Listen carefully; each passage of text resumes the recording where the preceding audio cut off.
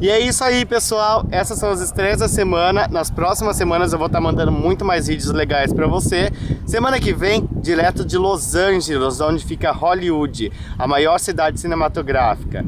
Um beijão para todos e até semana que vem.